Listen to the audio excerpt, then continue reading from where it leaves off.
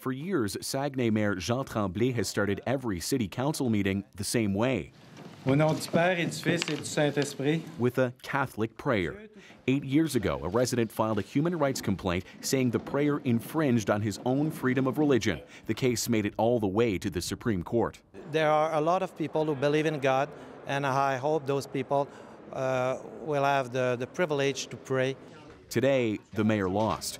In a unanimous decision, the nine justices ruled the prayer breached the state's duty of neutrality. The court confirms that the state and people acting on behalf of the state can't impose a religion. They can't promote a religion. In Quebec, proponents for state secularism said it's a win, a sign public institutions aren't a place to hold any religious activities. We are very happy. That's all I can say now. Across the country, other towns wondered how the ruling would apply to them. Even the Speaker of the House of Commons reads a daily prayer, but it's done off camera. I think it's a political time bomb for any politician to jump in and, and to promote this. Secular activist Chris London wrote a letter to councillors in Saint John, New Brunswick, demanding they stop their usual prayer, but some don't plan to.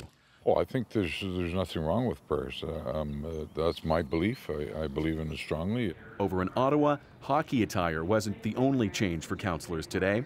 City Council will not say a prayer this morning. The mayor called off the opening prayer as he reviews the Supreme Court decision. The alternative, I believe, I think would make some sense is to offer, as we did today, a moment of personal reflection.